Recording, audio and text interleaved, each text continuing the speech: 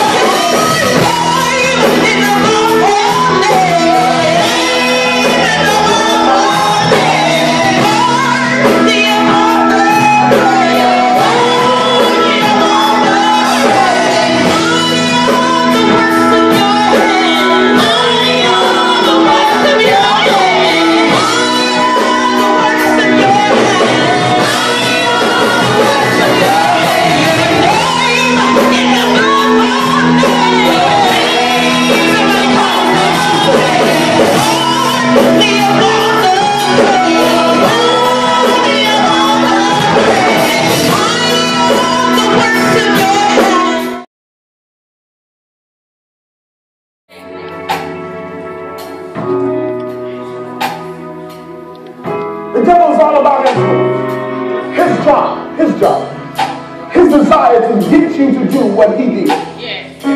And take your eyes off of God and put your and put them on yourself. But see, the thing of it is, when you are a true worshiper, Pastor Morgan, when you are a true worshiper, Apostle Stuff, when you are a true worshiper, it's hard to take your eyes off of God. That's why David was able to say, Against you only have I sinned. That's why David was able to say, I did wrong. You were supposed to take my kid. I shouldn't have done that. I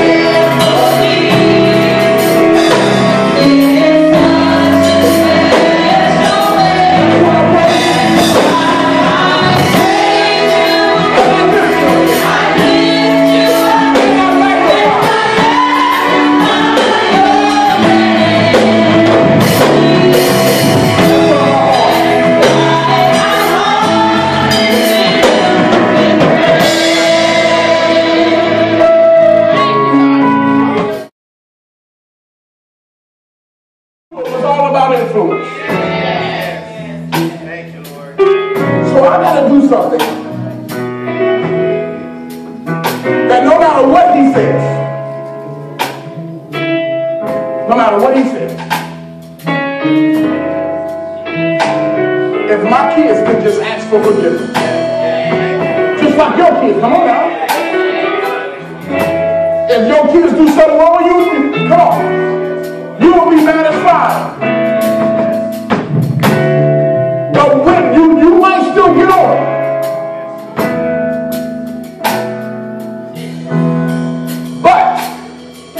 when it's all said and done,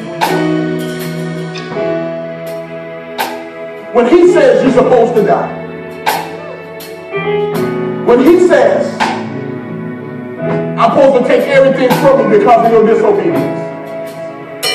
When he points my word at me, but because of what was in Calvary, I'm able, in the middle of his accusation, feel bad. You feel like you should have done. You feel happy. But nevertheless, you still with your with your hands raised. You still tell him he's worthy. And this is the ultimate figure. In the face of Satan.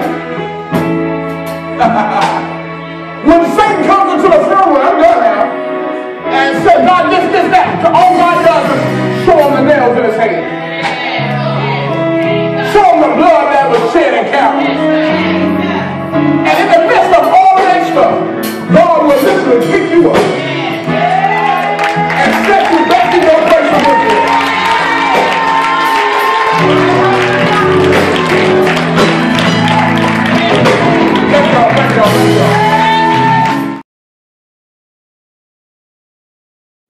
Hey, God bless everyone. Pastor Potts here. we just closed out our series uh, we just actually started our series on Operation Spiritual Warfare.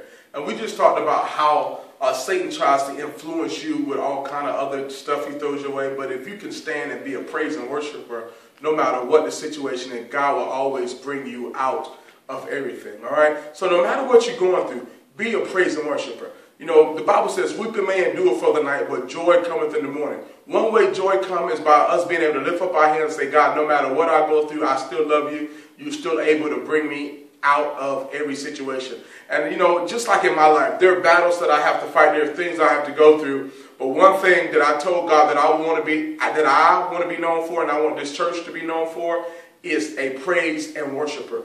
That's what we want to be known for here, is to be able to, to lift up the name of Jesus. For the Bible says, if I be lifted up, uh, uh, lifted up him, God, if he be lifted up, he would draw all men. So let me tell you something. The more you praise and worship God, God will send people your way who are able to help you out of every situation that you're in. Amen. So until we meet again, remember, you are the head, you are never the tail. You are more than a conqueror. No weapon that is formed against you shall be able to prosper. Why? Because you're a king's kid and you always win. God bless.